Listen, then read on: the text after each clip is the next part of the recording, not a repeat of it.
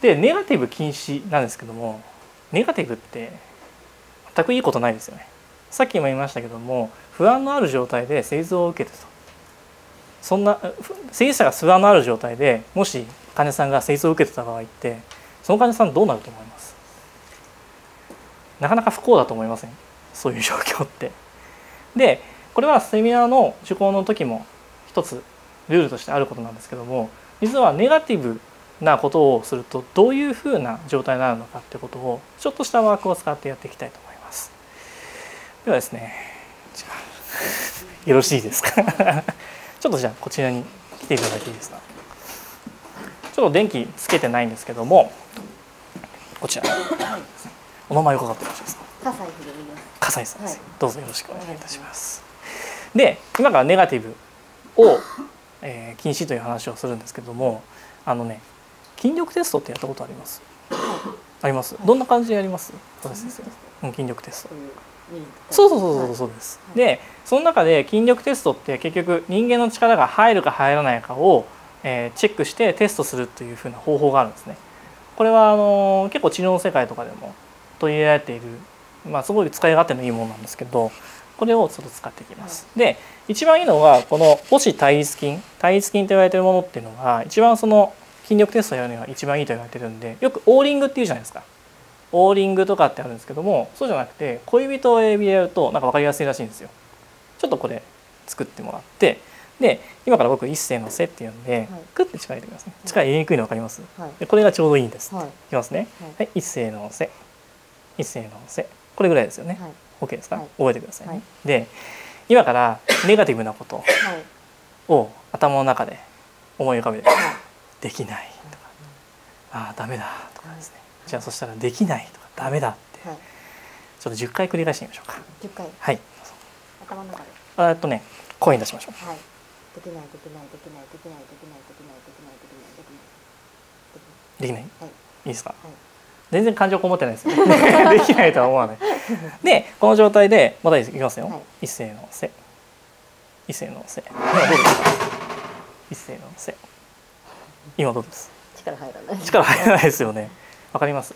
これちょっと近くでいない方は分からにくいかもしれないですけども、えー、実はできないっていうふうに言うとどういうことが起こるかっていうと脳がねできないことをインプットするんですよ。そうすると人間の体って神経で電気信号で体を動かしてるじゃないですか。全部できなくなるんですよ。では戻しましょうか、はい、はい、じゃあできるというふうに10回言いましょう、はいできるできるできるできるできるできるできるできるできるできるさっきより感情こもってますね。では行きましょう。か、はい、いきますねはい。一斉のせ。どうですか？一斉のせ。さっき。より入りますね。ぜひねこれ簡単にできるんででしかも患者さんにもねこれコミュニケーションで面白く使えるんですよ。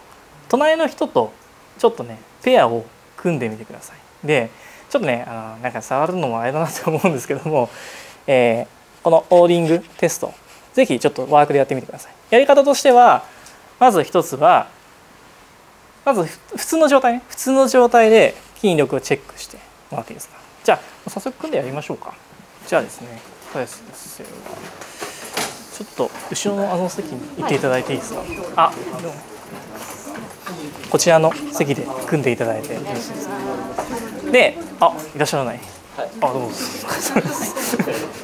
じゃあ僕とやりましょうか。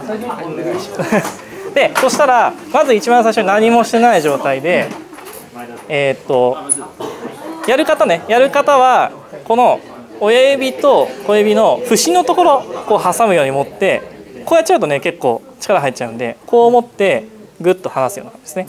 一斉のせ一斉のせって感じですね。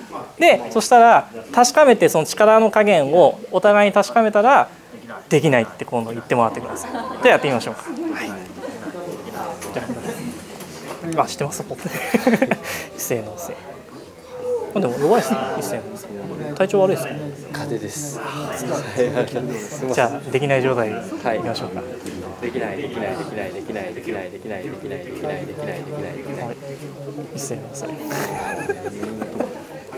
じゃあ風邪は治る治る治る。そうですね。治る治る治る治る治る治る治る治る治る治る治る治る。あでもまだちょっと弱いけどねまだ少し思いが弱いいきますねでもさっきより力入はい全然違う全然違うポジティブにあの治ると思い続けてくれる早くないちょっとじゃあちょっとあのお待ちください、はいあできるやったら今度ですね。あの分かったら今度交代してやってみてくださいね。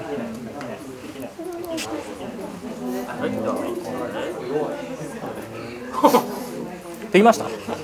どうでしたか？はい。パカパカ。